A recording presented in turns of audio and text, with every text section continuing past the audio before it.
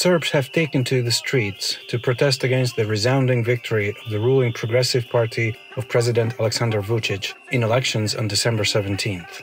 Along with several opposition parties, they have called the vote fraudulent. Several MPs went on a hunger strike inside the Election Commission building, and the protests have sometimes become violent, with riot police deploying tear gas to break up the rallies. International election monitors also sounded alarm at widespread irregularities, including voter intimidation, ballot box stuffing, and illegal voter registrations. In one of the alleged vote fixing events, Thousands of people were bussed in from as far afield as Bosnia to vote in Belgrade, where the ruling party's positions were never strong and were further shaken after a pair of mass shootings in May. The opposition blames partly on the machismo of the Vucic administration. The protests against the elections continue, but analysts expect them to die down and Vucic to consolidate his position.